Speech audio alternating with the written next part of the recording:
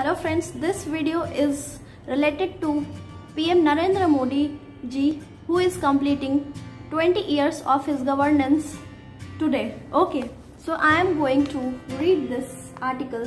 Okay. Leadership and commitment. A union cabinet minister pays tribute to PM Modi who completes 20 years of governance today. Piyush Goyal. Prime Minister Narendra Modi's illustrious track record in governance started two decades ago from Gandhinagar during he selflessly served first the people of Gujarat and since 2014 our nation. He was born in Vadnagar not far from Gandhinagar, a dilapidated town with, without basic amenities like electricity. Facing such adversity, he emerged as a sensitive human being who wanted to bring about changes so that no child would have to study under a street lamp or sell tea like he did just to make two ends meet. PM Modi's journey of Seva and Samarpan service and dedication started at the age of 17 when he left home to travel across the length and breadth of country. His training as an RSS Pracharak gave him a unique understanding of Bharat and the people of India. PM Modi has emerged as leader who can work relentlessly every single day without taking a break. Today, he completes 20 years of public service as the head of an elected government, first as CM of Gujarat and now as PM of India. To build a tower that pierces through the sky, it is essential to first build a strong foundation, and that is what he did.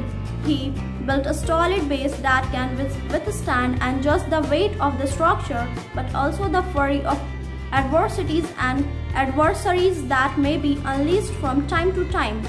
While India progressed in its post-independence era, it was clearly inadequate to meet the aspiration of every citizen, and even in basic amenities, outcomes were poor and clearly insufficient in areas like health, sanitation, and education. PM Modi in 2014 inherited a weak economy, one amongst the fragile five with deep distrust in rural India and lack of trust in India's government after a series of scandals that have to light. India needed a complete makeover. PM Modi, confronted with several challenges, demonstrated his decisive leadership and a strong commitment to ensure that the benefits of progress reach the poorest of the poor without discrimination, taking the entire country along. His guiding philosophy has been Sabka Saath, Sabka Vikas, Sabka Viswas, Sabka Prayas.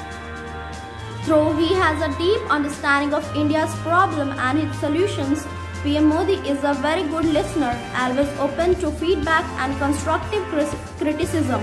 He is a fast learner and is consistently upgrading his blueprint for Bharat right from the time he became the CM of Gujarat.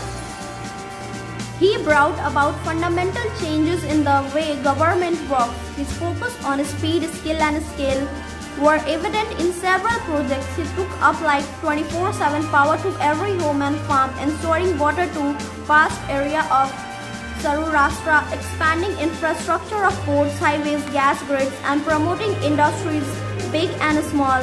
His use of technology-driven governance to bring transparency and high level of probability is a hallmark. When PM Modi talked about energy self-reliance in his Independence Day address in August 2021, he was only articulating to the nation a vision he has harbored since his chief ministerial day in Gujarat. The approach was logical and holistic. He first ensured that there is power for all, then focused on improving efficiency by promoting drip irrigation to reduce power consumption. He made farmers conscious amongst wasteful use of electricity and took water to remote areas that through the Sound Sayuni Yojana.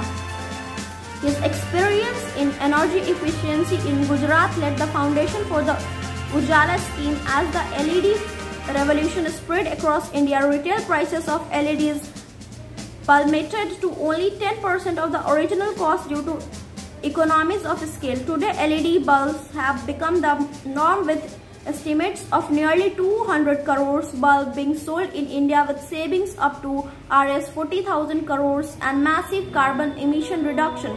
The overall impact have been has been that is helped make the environment cleaner, save vital foreign exchange and re reduce the power bills, particularly of the middle class.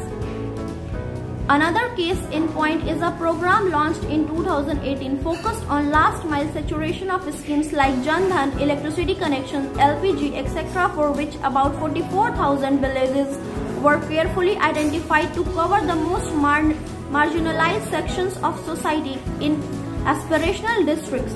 A massive Jan Sampark initiative saw representatives from the center travel to these districts to ensure full coverage of these schemes. Eventually, all these schemes were made available to every household across India.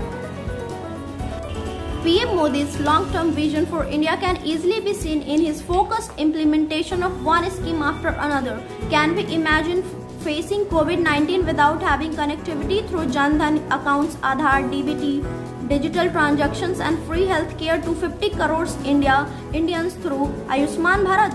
The successful implementation of these initiatives laid the foundation for providing timely welfare during these unprecedented times. The untiring efforts of PM Modi have accorded India a special status in global community. The world now looks at Indians as a reliable and trusted partner and a driving force in the growth of world economy.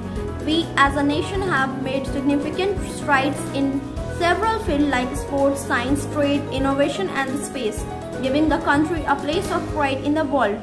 PM Modi's life as Karma Yogi serves as an inspiration to all Indians. His journey from a tea seller to PM illustrates that with hard work and dedication, anything is possible. There is a growing feeling in India today that Modi hai to mumkin. Naya Bharat needs our co collective karma. PM Modi has set the benchmark for the nation to follow. Now it is upon 135 crore Indians to adopt Seva and Samarpan for building a new India. The writer is Ministry of Commerce and Industry, Consumers Affairs, Food and Public Distribution and Textiles, Government of India. Thanks Piyush Goyal ji and all the best all of you. As Narendra Modi ji is serving our nation at his best and giving his best. And this all kisan or what we can say uh, he is helping kisans like uh, you can say the amul company. In gujarat there's a lot of farmers connected to the amul. They work there and modi ji is with farmers he is not against them because farmers are the the primary uh, concern for us because they form the primary sector of India. Agriculture forms the primary sector of India. Okay. So this was all about. All the best to Narendra Modi ji for the upcoming years.